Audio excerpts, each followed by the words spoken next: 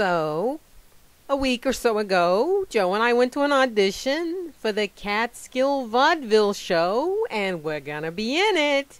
And we're starting rehearsals, and Joe and I are gonna do a Burns and Allen script. Joe's gonna be the MC, and it's gonna be in Sullivan County at the Sullivan County Museum.